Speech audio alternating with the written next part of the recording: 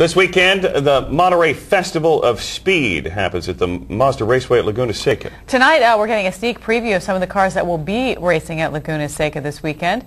Our own Elisa Becerra is live at the Del Monte Center tonight to show us around. Hi, Lisa. Hi there, Erin. It's really loud here, which is uh, why I'm pressing my IFB into my ear. But this is really the kickoff of the Festival of Speed at the Del Monte Center. It's a chance for fans to get up and close with the drivers and their cars and see how these things work. And why the Del Monte Center, you might ask? Well, about 30 years ago, everyone who was racing at the Del or at Laguna Seca had to come here to the Del Monte Center to inspect their cars and to register. So they're trying to bring back some of that nostalgia. But today is really about the experience and enjoying it all.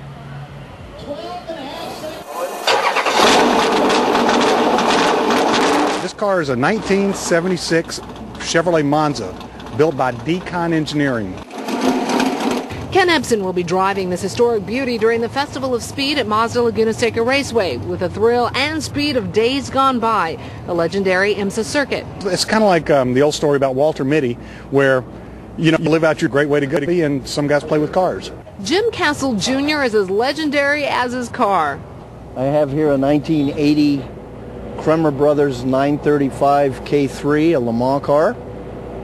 Raced IMSA in 80. His strategy for this weekend is pretty straightforward. Well, when you're playing with the big boys, uh, it, it's time to get off the porch and get her done, and, the, and these cars will get, definitely do it.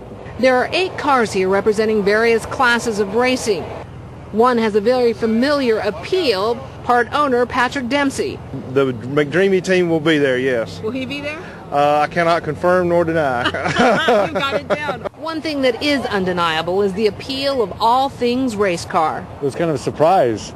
We didn't know this was going on, and we skidded to a stop and ran over here, and we forgot all our chores. So don't tell my wife, okay? Um, what I really like about them is because they go really fast. He's got it there. We all love the ones that go really fast. Now, the Festival of Speed officially kicks off on Friday morning, so you can get out there. Tickets are still on sale. And if you want to come out here and get a really close look at the cars, hear them talk to the drivers, this goes on until 7, but uh, looking at things, it might go on a little longer. Aaron, Dan? All right, all right, Very Elisa, cool. thank Very you. cool.